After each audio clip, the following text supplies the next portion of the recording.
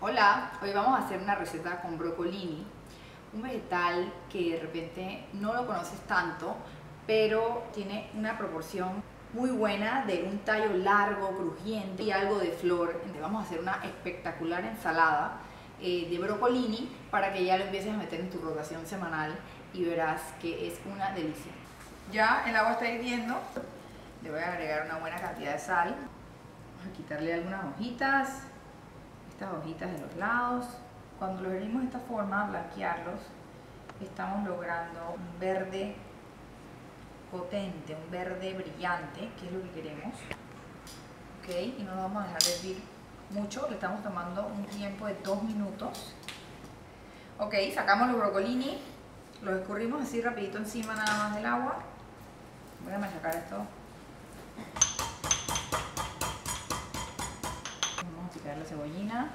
Parte verde y blanca. El vinagre de sidra es un vinagre a base de manzana.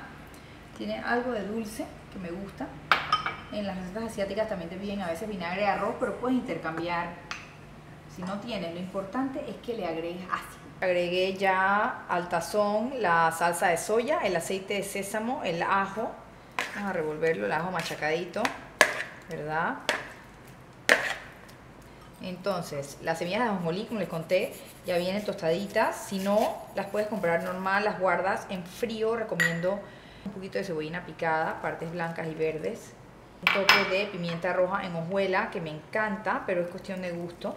Y los hongos rebanados, ya los habíamos lavado, los puedes comprar rebanados o enteros. Y vamos a revolver esto. Que todo se recubra con estos ingredientes que si alguien no ha probado el aceite de sésamo y lo prueba, de verdad que te das cuenta que es un ingrediente que aporta tanto, tanto sabor y complejidad al plato. Tomas una bandeja que te guste, donde resalta este color verde espectacular.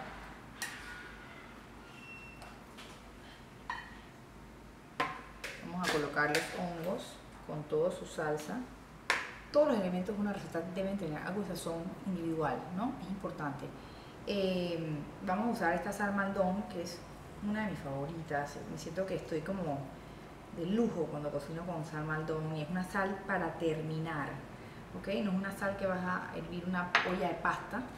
Eh, la verdad es que la consigo en Foodie. Es eh, una sal que se cultiva, una sal de mar, que se cultiva en unos cristales grandes, entonces si tienes como esa textura crujiente cuando la comes, no solo por sabor a sal, eh, y se, se, cosecha en un pueblito en Francia, en un pueblo que se llama Maldon. Un poquito de pimienta fresca.